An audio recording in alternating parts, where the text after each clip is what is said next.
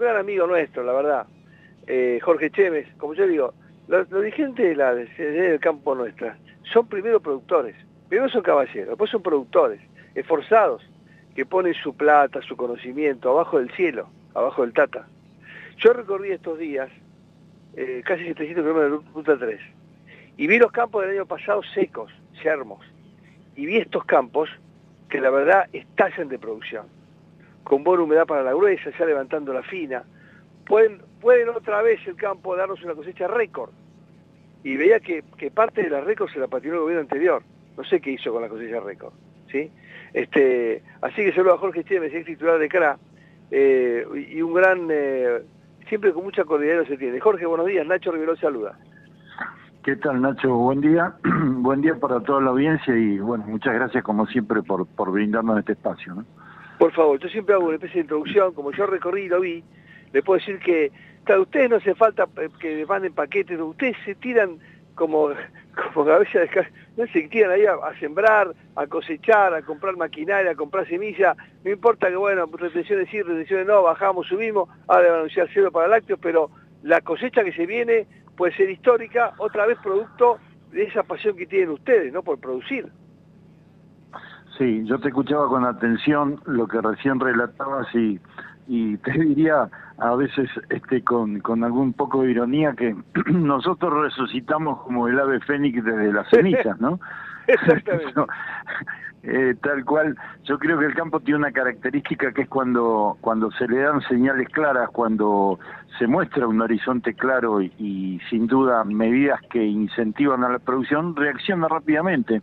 Y no me canso de decir que es el sector más dinámico por el cual vos en seis meses o 180 días podés tener una cosecha en pie y que muchas veces, eh, te diría que en innumerables veces ha sido el sostén y el resurgimiento de los, de los recursos que siempre necesita este país. Así que es muy claro lo que vos planteaste que de una sequía tan atroz como la que venimos viviendo, cuando se tira alguna señal, enseguida el productor reacciona.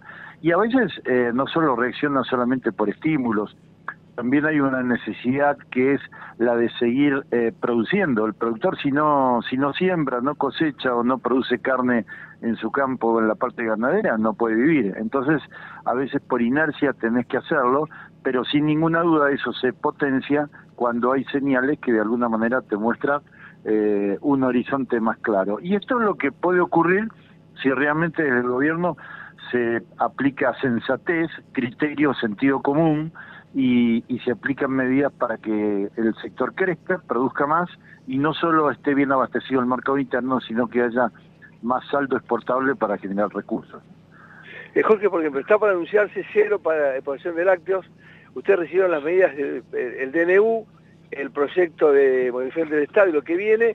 Se reunieron, primero, primero pusieron el por el tema de retenciones, se revió, algunos sectores entraron, pero sin embargo, ustedes bancaron. Bancaron porque ustedes están a ver lo que viene, a ver el futuro. Ustedes ven, ven la cosa como viene, ven la tendencia, sí, la tendencia, yo creo que ustedes la ven clara, la ven como luminosa, como, como muchos de nosotros, y a pesar de que hubo medidas que, por supuesto, son insuficientes o faltaría que le saquen el pie encima, que bajen las retenciones, ustedes salieron a decir, bueno, eh, bien, digamos, bancamos.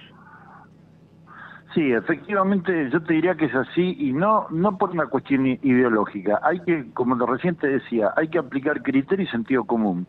Hoy los efectos negativos que estamos viviendo son, eh, el, digamos, la inercia de las de las medidas equivocadas que se venían aplicando en el, en el gobierno anterior. Con como consecuencia, uno no puede eh, a 20 días del gobierno atribuirle daños en esto. Lo que sí creemos es que este nuevo gobierno tiene que eh, apuntar a corregir estas medidas eh, que distorsionaban el, normal, normal funcionamiento, o que distorsionan el normal funcionamiento del sector agropecuario y generar estímulos. Pero bueno, para eso también se necesita un tiempo prudencial y es por eso que desde las entidades eh, está esa prudencia en no salir a pegar o a criticar o a, o a exigir inmediatamente estas medidas que sabemos que se requiere tiempo. Sí creo que pasado ese tiempo prudencial desde las entidades se va a exigir definitivamente el cumplimiento de lo prometido en las eh, en la campaña política. Eh, vos has escuchado bien, en toda la campaña se fue desarrollando el anuncio de eliminar básicamente retenciones. Esto no se ha llevado adelante todavía porque se entiende de que los recursos del Estado necesitan todavía de, la, de las retenciones para sobrevivir, pero vuelvo a insistir, eh, con el tiempo se va a ir exigiendo que se cumpla con, con lo prometido, porque si no, sí, se van a escuchar las voces de reclamos y protestas como lo hemos hecho estos últimos años. Y nosotros estaremos acompañando como siempre, y vos por la estructura de CRA, tenés gente en todo el país, sabés que en Tucumán se recibió bien los ingenios, en Misiones lo de Cerro y tantas otras economías que pasan o por el DNU o por la modificación del Estado, ¿cómo están recibiendo esta, esta verdadera batería de declaración de principio, medidas que ya rigen por el DNU, ¿sí? ¿cómo está recibiendo este ataque masivo contra el no se puede, la máquina de impedir, esa frase genial del presidente, va a quedar prohibido prohibir, el tema del tipo de cambio real, 800 y pico de mangos, la brecha más chica en los últimos años entre el blue y el oficial. ¿cómo reciben toda esta batería de impresionante anuncio en 20 días, Jorge? Eh, mira, yo te diría que hay un poco de todo, ¿no? Eh, el diferencial cambiario yo creo que era algo que reclamábamos. Vos habrás eh, escuchado muchas veces cuando me has, hecho notas que nosotros planteábamos que ese diferencial del mercado cambiario era, era más nocivo todavía que las retenciones. Creo que si se corrige esto va, se va a dar un paso adelante. Obviamente queda por corregir la eliminación de retenciones. En algunas economías regionales se ha eliminado y por eso es cuando se que cuando se quiso reinstalar desde las entidades se salió a reclamar rápidamente porque había economías regionales que se le había eliminado las retenciones y, este gobierno quería reinstalarlas. Entonces, creo que hay un reacomodamiento, si le podemos llamar desordenado de todas estas medidas, que sin duda hay que ordenarlas, hay que adaptarlas a las urgencias que realmente estamos viviendo y de alguna manera empezar a encauzar la situación por un camino de tranquilidad y orden, orden inclusive económico. Por eso decía que hay muchas cosas que no se pueden hacer inmediatamente, que va a haber que esperar un tiempo prudencial, pero sí se va a exigir que esto se cumpla. Esto es lo que estamos viviendo. Por eso digo que algunas medidas se están recibiendo con beneplácito, otras eh, mordiendo o apretando los dientes porque la verdad que no es lo que esperábamos. Eh, y esperemos que sí eh, empiece a encontrarse este camino, yo digo, no solo de, paz para la gente, sino de, tranquilidad y de previsibilidad para el habitante del país, que no tenga que ir a comprar algo y se encuentre con aumentos desmedidos inflacionarios como los que estamos viviendo, que tenga la previsibilidad de que el sueldo le alcance y, le, llegue bien a fin de mes. Eh, ¿Qué es lo que se merece la gente? Yo creo que venimos de muchos años de sufrimientos, de castigos, sobre todo los sectores más necesitados, y yo creo que esto hay que tenerlo en cuenta para, para que haya un, orden y una tranquilidad para poder vivir. Jorge, dos confirmaciones. Si viene una, otra cosecha récord de ustedes, una campaña récord, y otra, eh, ¿tenés confirmado lo hicieron para importaciones lácteos? Eh, sí, está en principio confirmado la eliminación de las retenciones de lácteos, como otras, un listado de varias economías regionales. Eh, si el tiempo acompaña, yo te diría que tenemos eh, la previsión de que podamos tener una, sí, no sé si una cosecha récord, pero una muy buena cosecha y que vuelvo a insistir, esto es una buena noticia porque va a generar recursos, dólares frescos, que es lo que realmente el país necesita.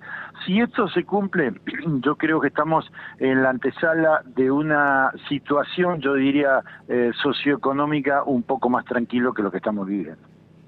Jorge, el agradecimiento por tu atención como presidente, ahora como productor. ¿Estás en el campo o estás en la ciudad?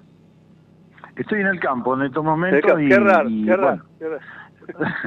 así, es, así es. No me extraña, bueno. ¿Y cómo lo ves? Está con humedad, está el niño, se nota el niño, hay humedad, hay humedad, hay humedad de producción. Mira, Sí, se está normalizando la situación de lluvias, por suerte, en muchos lugares, en algunos eh, eh, está un poco excedido, pero te diría que en el caso mío, por ejemplo, estamos terminando de cosechar trigo con buenos rendimientos. Acá en la provincia de Entre Ríos y personalmente yo estoy cosechando cultivos de lino también, que se hace hace mucho tiempo que, que no sé y esto está teniendo buenos rendimientos, con lo cual eh, no te diría que soluciona los problemas, pero calma un poco los nervios. Como.